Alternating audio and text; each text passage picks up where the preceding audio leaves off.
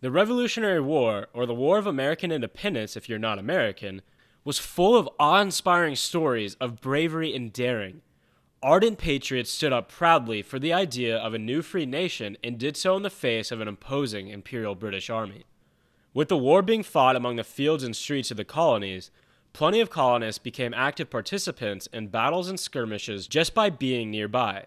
Caring of the wounded was common, but some men chose to fight against the overwhelming odds for their country, or just out of hatred for the British. Samuel Whittemore was one of those brave patriots. Some reports have Whittemore being born in Massachusetts in 1695 or 1696, though it was more likely that he was born in England and came to the American colonies to fight in what would be known as King George's War. Whittemore served with the Dragoons, an elite cavalry contingent, and may have been a captain. By the time he fought in the first engagement that we know about, he was already 50 years old. Whittemore played an active role in the siege and capture of the French fort Louisbourg. During the battle, he would claim one of his most prized possessions an ornate sword taken from a French officer who died suddenly, according to Whittemore. The French eventually regained possession of the fort after the war, and when the French and Indian War, or the Seven Years' War, kicked off nine years later, Whittemore again joined the march against the fort. This time, the battle for the fort was a much larger affair with several thousands of men on each side, complete with large scale naval bombardments and relentless artillery bombardments. The British won a decisive victory again, with the help of Whittemore now in his early 60s by the time the fort fell in 1758. Up next for Old Whittemore was one of the most brutal and heartless conflicts the Americas had yet experienced. In what would be known as Pontiac's Rebellion, large groups of natives rose up against the colonists in a series of border conflicts in a guerrilla war. Civilian traders were targeted by the natives, and one recorded incident details the Indian raid on a rural schoolhouse, resulting in the murder and scalping of a teacher and 10 young students. There was retaliation by the colonists, with bounties being offered to anyone who killed a native man or woman.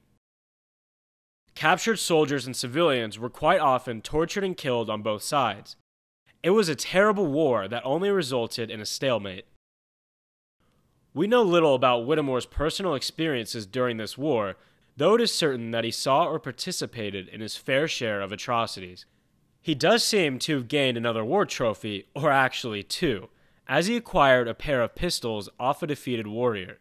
These pistols would come into play over a decade later. After the Pontiac Rebellion, Whittemore settled down on his farm in Menotomy, Massachusetts with his wife, children, and grandchildren. He seems to have fully supported the proclamation of an independent nation of America and kept himself quite well apprised of the early events of revolution. The first engagements of the Revolutionary War, the battles of Lexington and Concord, occurred very near to Whittemore's property. The Massachusetts militia was fighting a tough fight, but constantly retreating to keep away from the overwhelming momentum of the professional British Redcoats. This meant that the battle was a running battle and there was even fighting down in Menotomy. Homeowners fought in the doorways of their homes and militia sniped from the windows as the British began to spread out to attack. Samuel Whittemore learned of the British attack and armed himself with his prized sword and pistols, grabbed his trusty musket, and went to defend his home. By this point, Whittemore was at least 78, possibly as old as 80. He found a position to hide and observe the British advance, and when they got close enough, he revealed himself and shot one of the soldiers at nearly point blank range. With no time to reload, Whittemore drew his pistols and killed two more soldiers. Now out of ammo, Whittemore drew his captured French saber and charged the British. He was soon shot in the face by musket at close range. His cheek was badly wounded, with a large chunk of flesh torn away by the large musket ball. Whittemore fell to the ground and waved his sword wildly while trying to rise again. He was clubbed in the head by the butt of a musket and bayoneted no less than 13 times before being left for dead.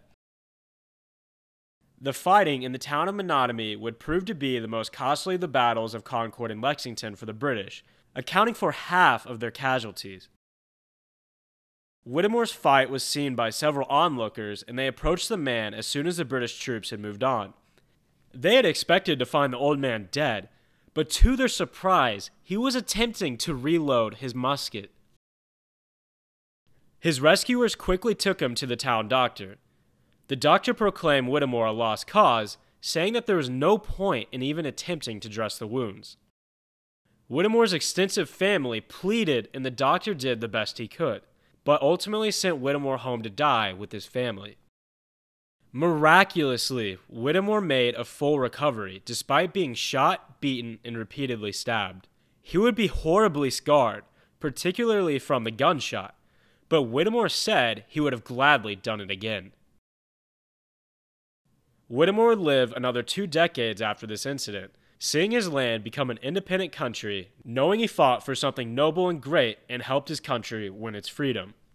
A true example of a hardened veteran boldly standing against any foe, Whittemore would become the official state hero of Massachusetts in 2005. Whittemore should also be remembered as an American hero and possibly the toughest man to fight in the Revolutionary War.